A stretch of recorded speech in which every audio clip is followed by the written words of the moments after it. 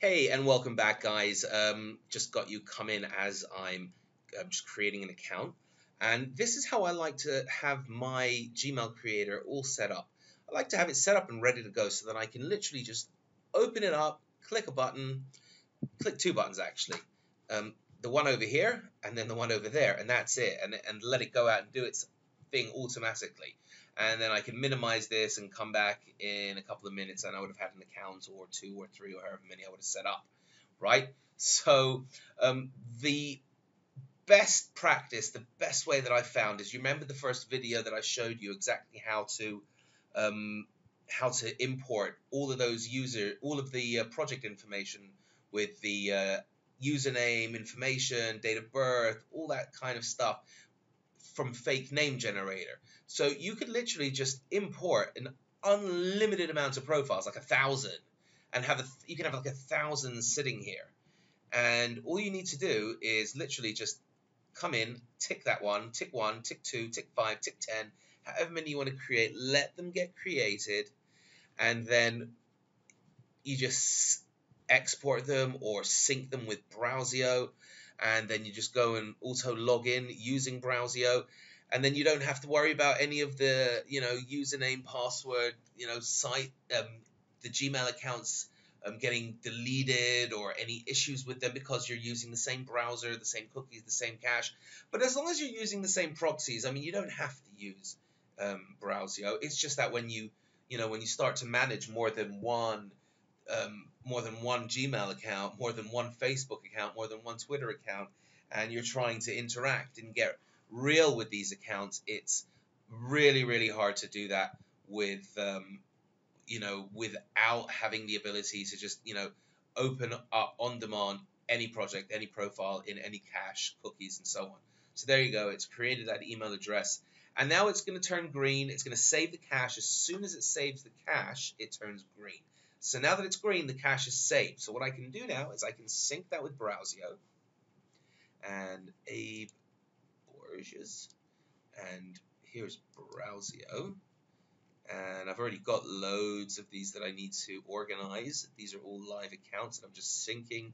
And here's all of the Gmail accounts that I've you know just opened up just through testing in in April just the last literally this is the last couple of days right so I don't even know what I'm going to do with all these Gmails just yet but they're definitely going to go to good use guys all right, so to sync that again to BrowSEO is, again, you just sync to BrowSEO. Click yes. Abe Borges. And it's not there now. What you need to do is you need to come and refresh. And there it is, Abe Borges 1990.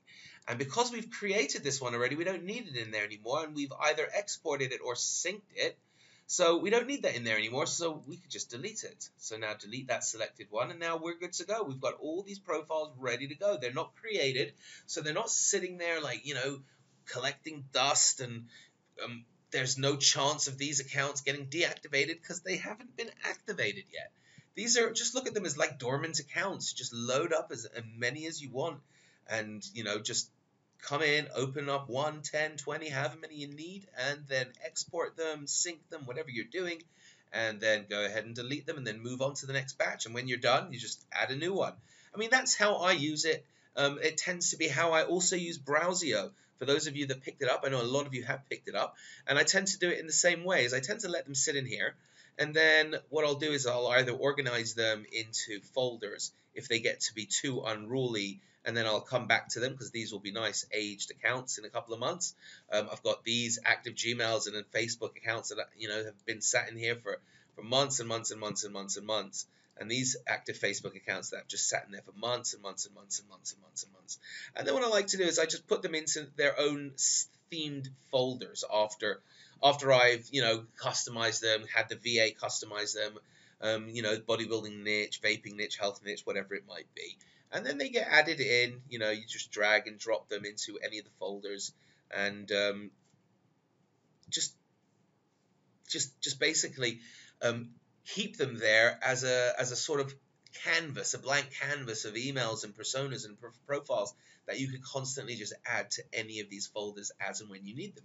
So that's how I like to do them. So I like to have a whole arsenal of extra email accounts and extra Gmail accounts and extra Facebook accounts just just sort of sitting there knowing that I have on demand an unlimited amount of accounts.